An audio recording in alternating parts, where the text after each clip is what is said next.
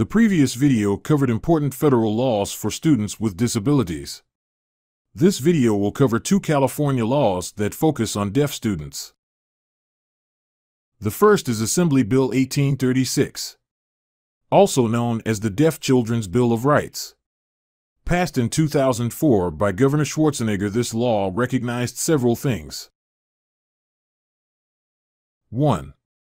Educators must place deaf students in an educational environment that respects and uses their preferred language or mode of communication. 2. Deaf students must be able to have regular contact with deaf peers, teachers, and other professionals. And 3. Deaf students must be able to participate in school programs, functions, extracurricular activities, sports, etc.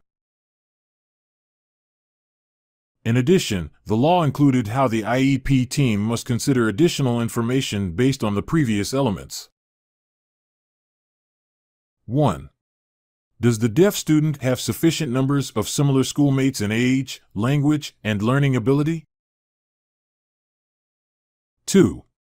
Are the teachers and other professionals working with deaf students qualified, skilled, in the language or communication method the student uses?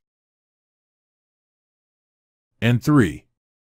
Are the critical elements of the educational programs, such as academic instruction, school services, and extracurricular activities, available in the deaf student's language or communication mode?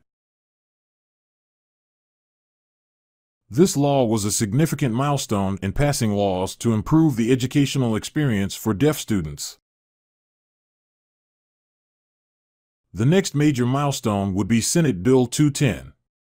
This law mandated the California Department of Education's Deaf and Hard of Hearing Unit to work with California School for the Deaf Fremont and California School for the Deaf Riverside to create benchmarks for monitoring and tracking the progress of deaf children from birth to age 5. The measures would assess and determine the child's expressive and receptive language acquisition and their development toward literacy.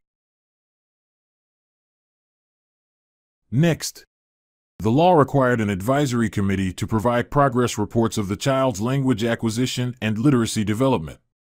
Then, if the child is not meeting the specified language benchmarks, the committee is to make recommendations with the goal of the deaf child becoming linguistically age appropriate. Lastly, it also mandated the State Department to develop specific action plans and regulations to fully implement the Language Benchmark Assessment Protocol and processes by July 2017. This law is rooted in research on language acquisition, the process of infants learning their first language. Babies must be exposed to language as young as possible to begin their journey of learning language. In the next video, we will learn about language acquisition and, in subsequent videos, the importance of it.